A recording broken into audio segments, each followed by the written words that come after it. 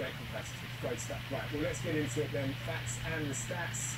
Champion, challenger. Dan, how long has it been since he had a piece of gold across him? What